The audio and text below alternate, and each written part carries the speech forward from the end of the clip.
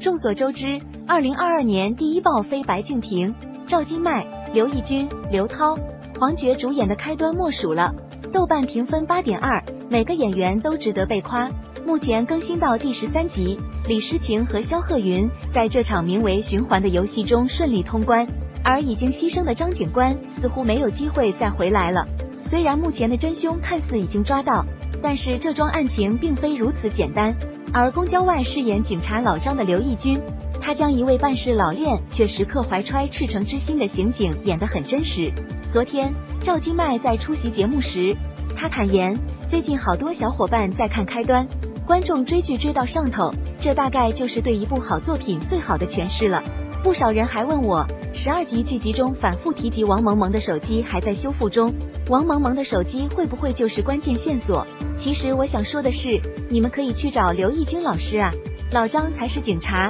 哈哈哈。随后赵今麦自曝，开端试镜的时候，我们导演开始是让刘奕君老师演公交司机王兴德的，不过在拿到剧本的时候，刘奕君是反复循环了一句，毫不犹豫的出警。当时我们导演看刘奕君那个眼神啊，那个画面感啊，就像过年年轻男女相亲一样。张成就是你了，哈哈哈！当然，这一次在开端里，张警官这个角色更加圈粉，让刘奕君又火了一次。而该剧最后两集会如何播出，实在太令人期待了。希望赵今麦能给到所有小伙伴惊喜。